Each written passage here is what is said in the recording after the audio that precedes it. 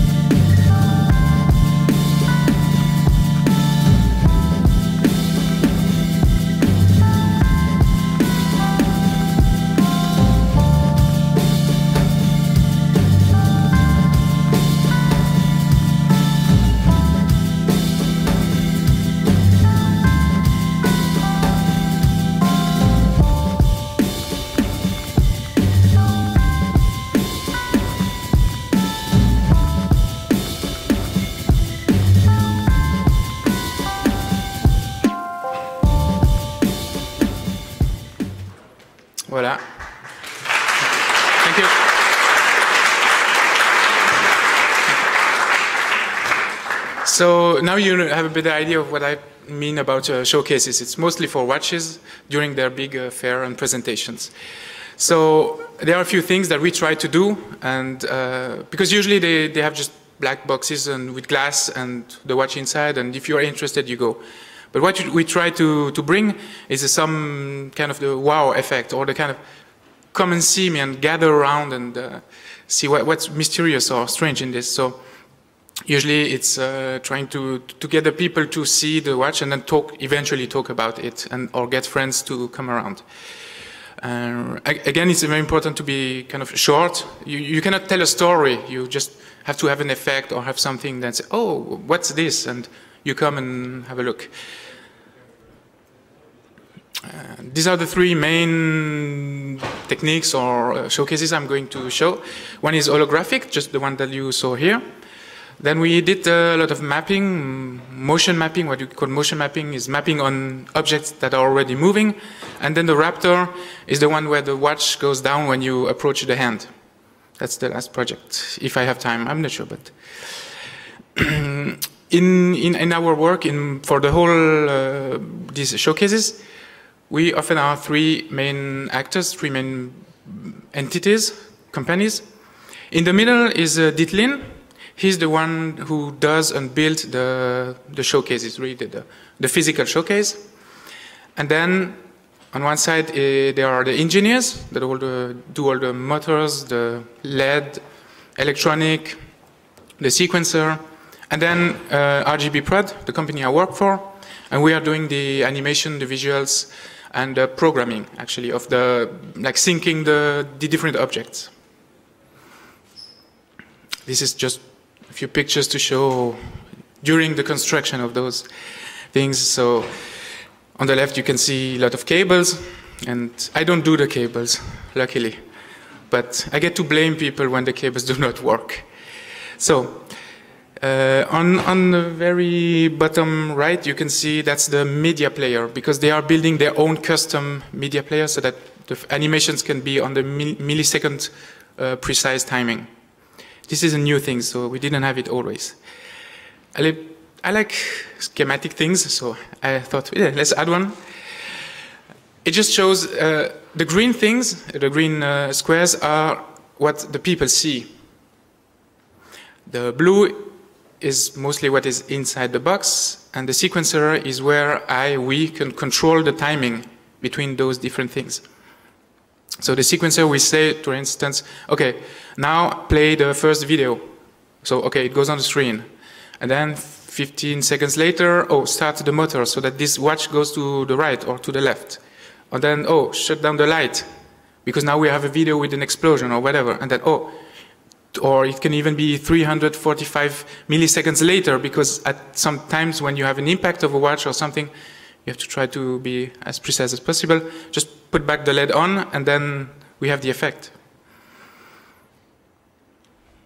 That's an example of the sequencer.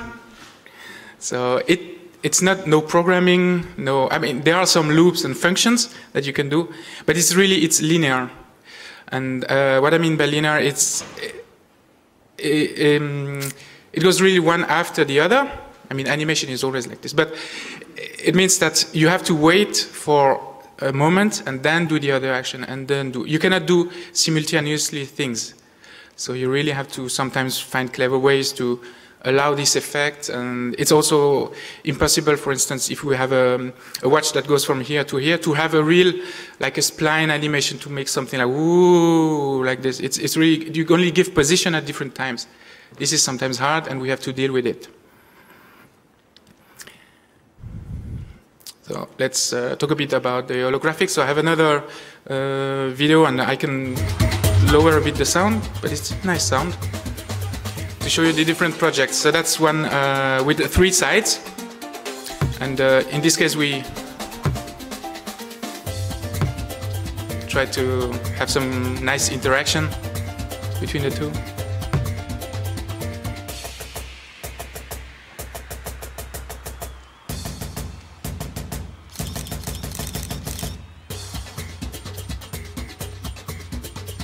So sometimes um, for different projects I use Blender for Real 3D. Sometimes we just use footage. Sometimes the client also they have footages or things that they want to use because they already have visuals. And here you can see that, hop, we put the light on so the object appears. That's also some, some interesting effect that you can play with. It. That's a very classical, just hologram around but then we try to turn around with the balls.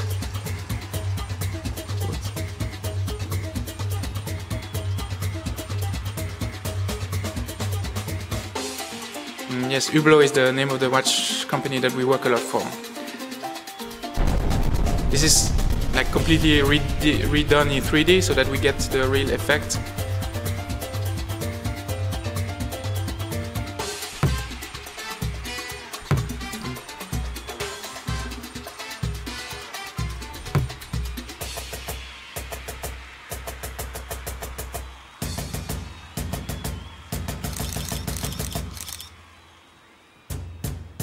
The company gives us the, the models of the watch and we recreate them in 3D so that we can really play with them around and uh, that's for the holographics. So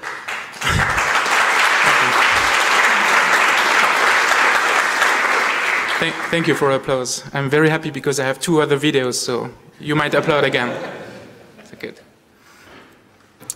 So, of course, uh, uh, I wrote in the little leaflet and the presentation is going to be about holographic, and holographic is a word, it's a buzzword. It's, there are different kind of holographic. We call it this, uh, but of course it's not uh, Star Wars holographic yet. I've seen some videos when people are trying to, to have some smoke, little smoke uh, ejectors and with lightning projectors, but we are not there yet. So that's what we use. And I think it gives a nice effect and you can play it uh, easily. You don't have too many complicated stuff. So the idea, because I'm uh, telling the secret, it's there's a display on the top, and then uh, the green one is a double-sided double-sided mirror. It's a very special glass.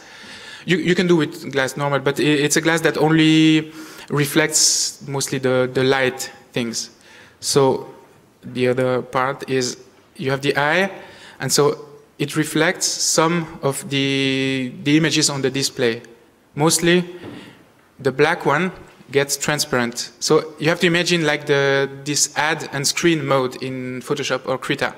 You know, when you get a, an image or a picture of someone on a black background, you just put it on top, you do this add effect, and then all the black or dark colors fade out and become transparent. That's the basic things. And when we do videos, we always try to do, of course, on a black background because of this. This will give the, the illusion. Uh, so during the years, I have I discovered a few things, and these are rules. But again, sometimes we break them because of any reason. But mostly, is trying to have the, the purest background. I mean, just black. Which, by the way, it's not always easy because some screens, like in this one, this is a uh, AMOLED uh, smartphone, so the blacks are really black. But some screens, especially like five years ago, they were a little, you know, it's backlit, so it was harder to see. And then what I call safe borders is try not to get uh, outside of your frame of the image, because then you will see, I mean, the hologram will be cut when you go out. So try either to be inside or have an effect that make it appear, disappear. Use, use as most as possible uh, 3D animations because 3D and when it moves, uh, you also forget this sense of flatness it, because the hologram is a, it's kind of a flat image that is projected transparently. So we don't have the real hologram that you could really turn around and see on touch. But you need to to use the 3D as much as possible. Static images work a bit less. And then have a real background pattern or object. This is something that don't project or don't use this hologram on a, on a black background or something. In this case, like the, the, the Lego one, I recreated a small theme. And this will, because you see the real scene, and then you have the holographic image on top of it, really. And this is very important. Okay, I, I, did a slide with don't do, but basically it's the inverse of uh, the do's. So yeah, like having uh, sometimes the, the, the clients they, they, they want something and they give us their latest uh, commercial or whatever image, and they say yeah yeah um, okay can do something. And the commercial is really great, but then it goes on the on the, the borders of the image and we cannot really use it. So we try to pick out elements of it that we can use. But again, often with these uh, displays, we have to be innovative and we don't necessarily need to be 100% corporate and to follow their, their image. We can be a bit more creative and for this is happy for this. Don't overcharge your visuals. That's because sometimes it's better to have just one small thing that spins and give the effect and then you have the rest. Uh, I'm, I'm focusing this again, but this is a good example. And when you really have the 3D object that is moving in 3D, it, you really don't know uh, the, the depth of the, of the hologram. And to make it disappear, it, and you could even make it like disappear and eventually appear a real product on top of it. This, I mean, the, the possibilities are nearly endless. Technically uh, refrained, but you can do a lot. At least I'm having a lot of fun trying to do this.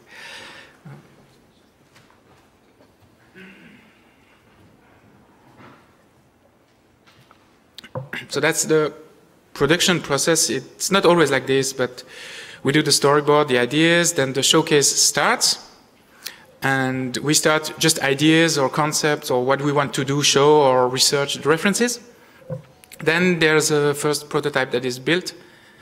I come uh, to take the measurements of the layout because you need to, especially when you have interaction with the objects, you need that your animation is calibrated exactly when the impact is uh, occurring. I try to recreate a scene in 3D, so be it uh, a book for the mapping or these kind of things. I try to be in 3D so that when I'm rendering, I have already the depth and the different objects uh, that I can play around. And then in red, repeat, because often there are things that go wrong or something that, or they change because of any reason. The, the prototype is, was not working or the client wanted something else. So we often have to repeat this uh, operation because every showcase is different or is a new idea. So we cannot, we're not industrial production, so cannot just, oh, we already have the measurements, we every time repeat. So this means that in this uh, work, in these projects, not always like this, but 50% is creative uh, production of the really the video and the animation, the stuff, and then 50% is more like doing the layout, remeasurement, timing, sequencing and uh, solving some problems that we, you will get. Sometimes you have an idea and I'm, I'm, at work and I'm working two days. I'm thinking, oh, this effect is going to look great. I'm, I'm, let's do a 3D thing that goes around and explode or I don't know, something. And then you, you see it on the reel and, oh no, because of, I don't know, some lighting problem or something. So you have to re readjust your animation. Uh, so this is maybe for more for the, the internet. Uh, I just did a small video because I wasn't sure also that they allowed me to take the glass in the plane. So in case I made a video. Uh, so just showing the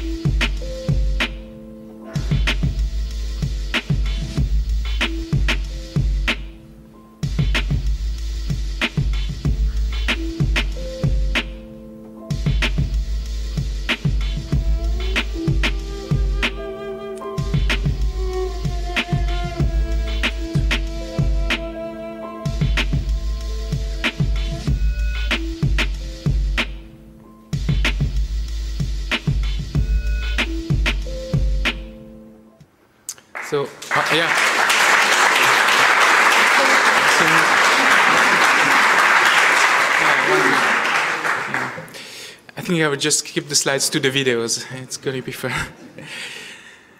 Um, so a little showing the, the, the different uh, measurements that I did for this, for instance, in this case. Showing that after that, I put it as a background, and then I recreate in 3D the scene with the Legos. Uh, and then you can animate in this, you know where your stuff is and it should work fine. Now on to the mapping projects. I, yeah, I have another video. You don't need to upload in the end, really. It's just showing the different uh, projects. In this case, it's quite a big watch. Uh, it's moving, rotating. So that was also a challenge after to get it uh, right.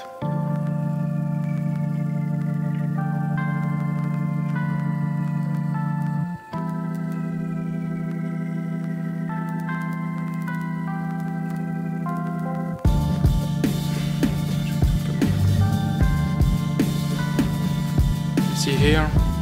That was a hard.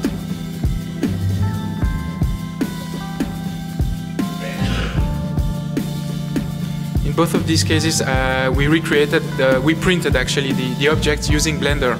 So this 3D printed book and 3D printed watch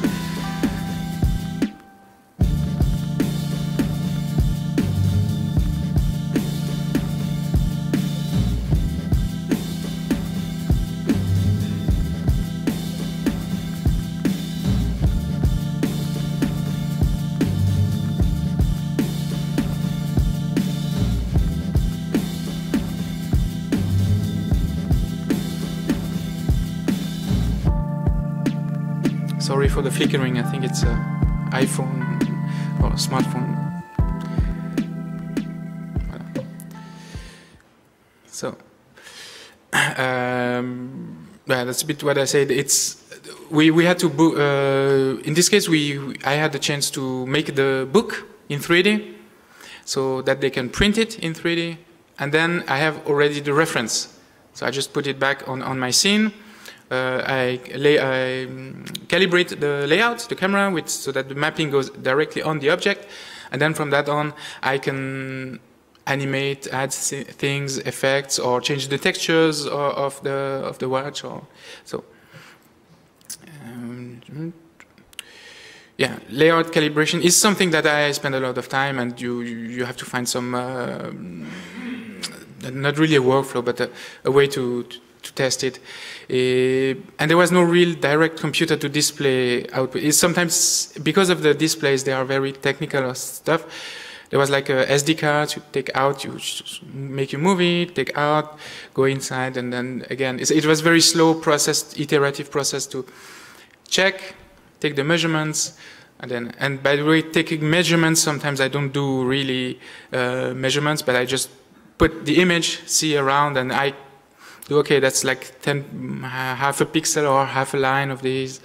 I take a lot of pictures of the, the places, so that's, uh, for instance, one of my photo timelines. So sometimes I have kids and sometimes I have days of watches and layout uh, alignment.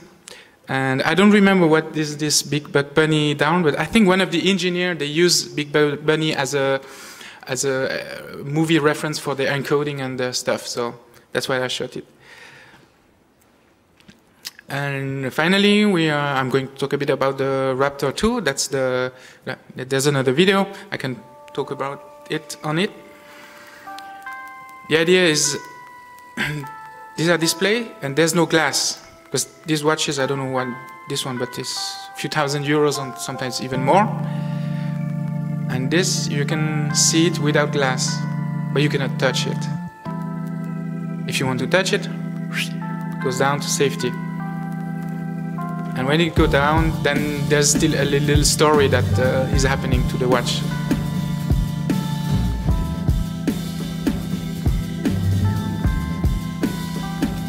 we had three different models. One was were more uh, mechanical, one is for more the materials used for the watch, and one more feminine.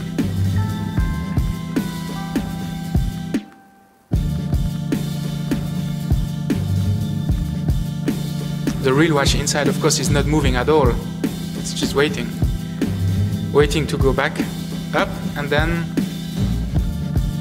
the timing comes back. Yeah, fluid simulation, yeah.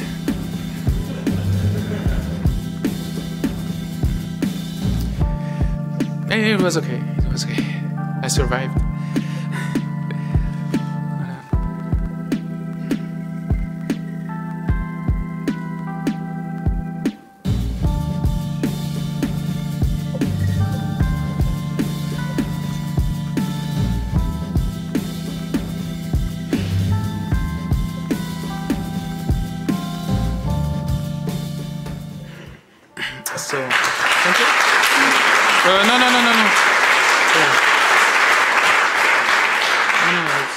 Just next slide, sorry. Um, so, uh, well, you've seen a bit how, how, it works, and basically there are some proximity sensors that detect when a hand is coming, and then, it, well, the, the, the, watch goes to safety very quickly, and then launches uh, a movie as fast as possible. It did still take some time to start the movie, so actually the movie, the, the start of the movie, for instance, this is a trick that we had to do, is it doesn't start the animation uh, doesn't make the watch go down really. It already is a bit down because we the latency is 200 milliseconds. We use them and we we play. I mean the the real watch goes down and then starting the movie and it's only starting now the movie. So we started the the watch a bit already down quite some. And there are actually five sequences that we had to to split because of different uh, conditions and state of the, the watch. For instance, if there is somebody always holding, because you could like, okay, I, am clever, right? So I'm waiting until the watch comes up again. So I'm putting my hand here, but then no, no, we were more clever than the guys. So we said, no, wait, there's a hand, so I'm not going up. And that's why you get this message, please step back. That means, okay, nobody's around me, I'm going up. And even if you try to catch it when it's going up, there'll still be a, a state where it's like, oh, wait, there's someone coming back, I'm giving back the animation. But then we cannot start the animation at the very beginning. Actually, what I'm saying, I think it's in this uh, kind of schematic. It's really, you have to, we had to find different kind of uh, key points or, yeah, uh, moments when you can decide, okay, we bring back the animation when it's going down, or we let it go a bit up, or this kind of things. And I think that's mostly the, the different conditions that you have when, okay, first it's idle up, you're waiting, then whoosh, goes down. So let's see the timing. Ah, I'm very happy with my timing. so I will uh, play all so that you can see all the animations that I made in, in Blender, of course. Well, it's always the same music, but I can talk around it. And you can see that the timing is the same. Although the animations are a bit different, and some go faster, but when it's up, it's at the same time. These are one. This is a different timing, like it's, mm, it's longer when it goes down. See, it takes the time to to have this fluid effect and he's watching around the watch. And then only we get this please take back. And at this point, if nobody is holding his hand,